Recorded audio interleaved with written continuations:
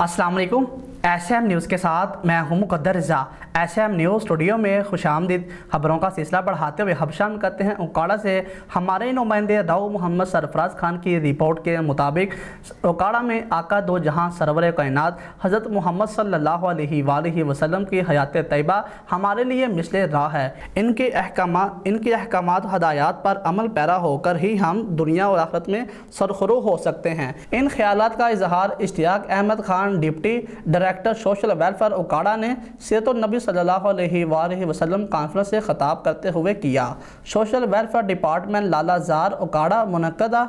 سیرت النبی کانفرنس میں medical social welfare officer Madiha Gilani incharge دارالمان Rubina شہزادی ذوالفقار ناز مظہر رشید محمد عباس اور رانا غلام مصطفیٰ کے علاوہ مرد و خواتین کی کثیر تعداد بھی موجود تھی۔